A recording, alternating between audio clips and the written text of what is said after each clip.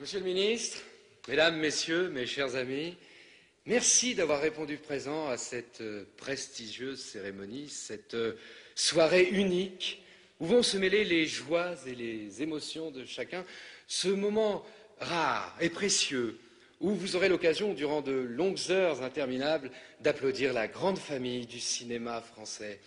Car, car qu'est-ce que le cinéma français sinon un zoom euh, sur la bouche un peu suave et fébrile de Béatrice Dalle, sinon un fondu au noir sur le visage d'Isaac de Bancolé, Euh, sinon des myriades de pellicules sur la chevelure de Catherine Deneuve.